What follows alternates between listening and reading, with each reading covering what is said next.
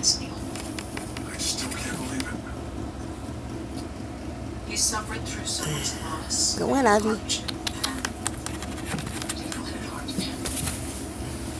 In fact, all those experiences made me more compassionate and understanding.